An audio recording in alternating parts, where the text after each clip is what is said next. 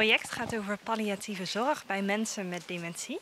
En dat gaat vooral over de manier waarop we hun leven aan het einde een stukje mooier kunnen maken. We nemen daarin de zorgprofessionals mee en de verschillende instellingen. Het is toch wel een, laten we zeggen, een moeilijke topic, laten we zo zeggen.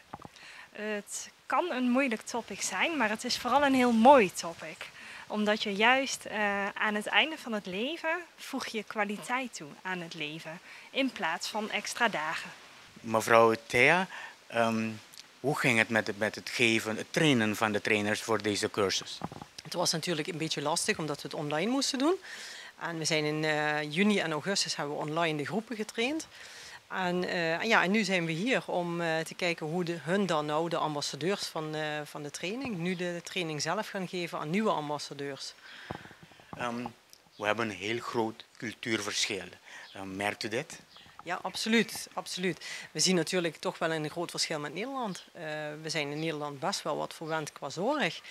En um, ja, dat zie je inderdaad in de les werd ik ook wel heel eventjes uh, gezegd, uh, of kreeg ik gezegd van, nou hier gaat het iets anders dan dat het bij jullie gaat. En dat is wel mooi om te zien, het verschil. Dat we dan samen ook kunnen kijken van, ja, wij kunnen ook tips terughalen. We kunnen ook in, advies terughalen van hoe doen jullie het en hoe doen wij het. En ja, dat mooi uitwisselen met elkaar. Um, wat is de bedoeling met de trainers die jullie trainen? de bedoeling is eigenlijk dat de trainers dadelijk nog meer ambassadeurs gaan opleiden. En uh, dat zij de zorgprofessionals mee gaan nemen in de materialen van Dedicated. Uh, we hebben heel veel materialen, werkvormen, methodes waar ze mee aan de slag kunnen gaan om die kwaliteit van zorg bij de mensen met, in de palliatieve fase te kunnen verbeteren. Um, ik wil toch een, een, boodschap. Wat kunt u als boodschap geven aan de mensen die ons nu aan het kijken zijn?